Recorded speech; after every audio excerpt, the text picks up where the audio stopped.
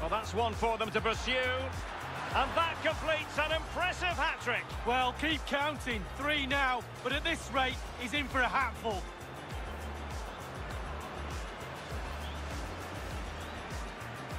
Well, Derek, he can relax now. He's got the hat-trick, fully deserved.